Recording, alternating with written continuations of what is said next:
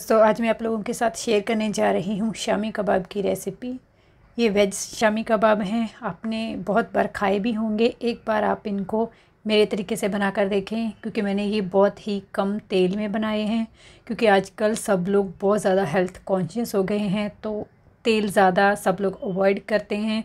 इसलिए मैंने इनको थोड़ा कम तेल में, सिर्फ़ दो चम्मच तेल में मैंने इनको बनाया है। आप यकीन नहीं मानेंगे, ये बहुत ही ज़्यादा टेस्टी बन के तैयार हुए थे। आप एक बार मेरे तरीके से शामी कबाब जो हैं वो ज़रूर बना के देखें। और इनमें बहुत ज़्यादा प्रोटीन भी है तो आप हर बार इसे ऐसे ही बनाना पसंद करेंगे। Hello everyone welcome back to my channel Mansivi corner मैं हूँ सिमरन तो चलिए फिर वीडियो को शुरू करते हैं। बर्तन में मैंने दो कप पानी को उबाल लिया था। अब इसमें मैंने आधा कप सोयाबीन का चूरा डाल दिया है। अब इसको ढक के आपको दस मिनट के लिए रखना है। उसके बाद में छान लेना है। अब एक मिक्सी के जार में मैंने आधा कप रोस्टेड चना लिया है। भुना हुआ चना है। इसका पाउडर बना लेना है। अब एक बाउल में मैंने दो उबले हुए आलू लिए हैं।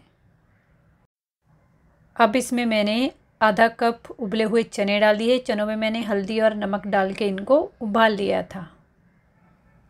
अब इनको एक मैशर से आपको अच्छे से मैश कर लेना है।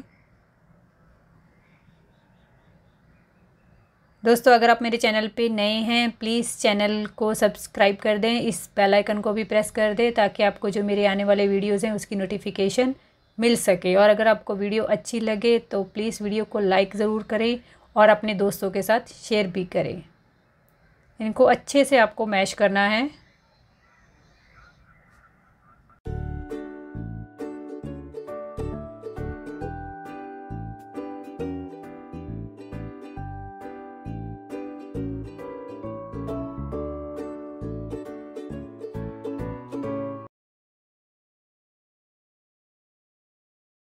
आलू और चने जो हैं वो अच्छे से मैश हो चुके हैं। अब इनके अंदर जो सोयाबीन के जो हमने चूरे को बॉयल किया था, वो डाल देना है। देखिए, इसको मैंने अच्छे से छान लिया था। एकदम सूखा सूखा हो जाता है। इसको डाल देना है। अब इसमें मैंने आधा कप पनीर डाला है।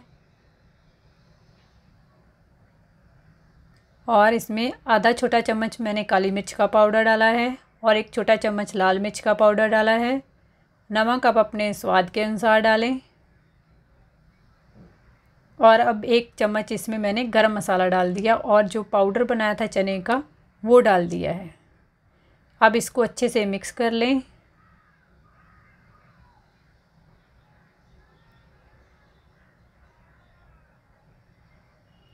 आपको इसको अच्छे से मिक्स करना है। ये चम्मच के साथ अच्छे से मिक्स नहीं हो पाएगा, इसके लिए आपको इसको हाथ से ही मिक्स करना पड़ेगा। एकदम ऐसे प्रेशर देते हुए ताकि जो थोड़े बहुत जो आलू और चना थोड़ा रह गया है वो अच्छे से और मैश हो जाए और सारे के सारे जो इंग्रेडिएंट्स हैं आपस में अच्छे से मिल जाएँ। इसके लिए इनको हाथों से मिक्स करना बहुत ज़रूरी होता है। ये दो तीन मिनट में अच्छे से मिक्स हो जाता है। आप इसको आपको थो, थोड़ा सा एक आप इसमें से एक इनका पार्ट लें और इसका कोई भी शेप आप दे सकते हैं। मैंने इस तरह का शेप दिया है। आपको जो पसंद हो, आप उस तरह का शेप जो है राउंड भी दे सकते हैं। आप ट्राइंगल कुछ भी शेप दे सकते हैं इनको। आप वैसे दे दें। मैंने इस तरह का शेप दिया है। अब इसमें मैं, जो इसके सेंटर में मैं एक टूथपिक लिया है और उसको इसके अंदर इस तरह से डाल दूँगी।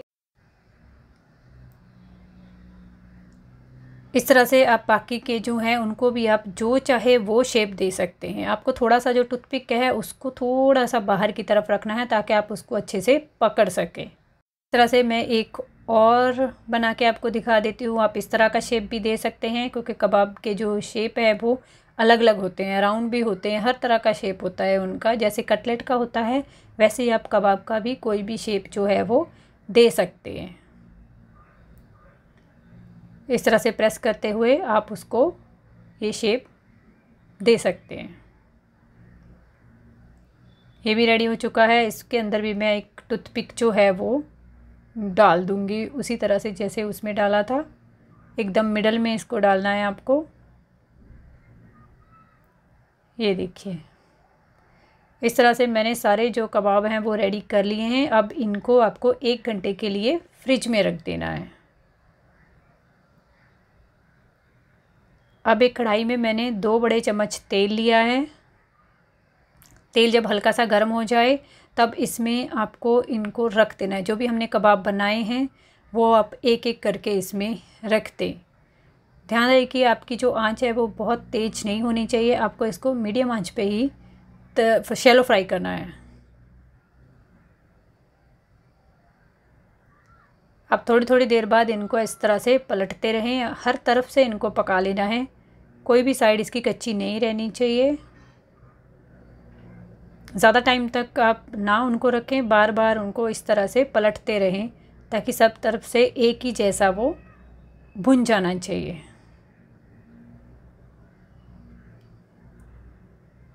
देखिए इनका कलर जो है वो कितना अच्छा आ रहा है।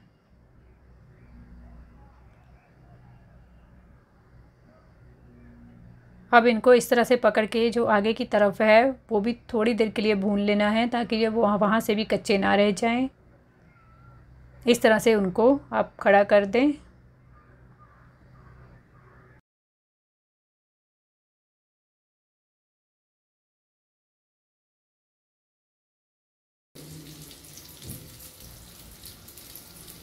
ये जो कबाब हैं वो बन के रेडी हो चुके हैं। अब इनको मैं एक प्लेट में टिशू रख के सारे के सारे जो कबाब हैं वो निकाल लूँगी इस तरह से।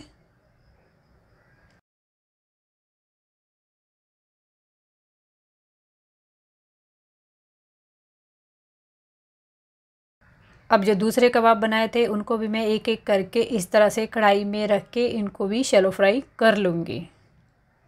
देखिए, उतना ही तेल मैंने यूज़ किया है, मैंने उससे ज़्यादा तेल नहीं यूज़ किया, सिर्फ़ दो चम्मच तेल डाला था, उन्हीं में दोनों बार मैं फ्राई कर रही हूँ। ये आराम से हो जाते हैं, आपको और तेल डालने की कोई ज़रूरत नहीं पड़ती है। इसलिए मैंने आपको बोला है कि इनको एक घंटे के लिए फ्रिज में ज़रूर रखना है। इससे कबाब जो है वो कभी भी फटते नहीं हैं।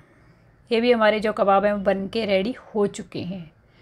अब हम चटनी बना लेते हैं। उसके लिए मैंने एक जार में धनिया के कुछ पत्ते लिए हैं। उसमें मैंने पुदीना के पत्ते डाल दिए। अब इसमें मैंने थोड़ा सा नारियल डाल दिया है कटा हुआ। एक हरी मिर्च। एक चम्मच नींबू का रस डाला है। नमक आप अपने स्वाद के अनुसार डालें और थोड़ा सा पानी डाल के इसको पीस लिया है। ये हमारी ग्रीन चटनी जो है वो भी बन के तैयार हो चुकी है। उम्मीद करती हूँ कि आपको ये रेसिपी बहुत पसंद आई होगी। Thank you so much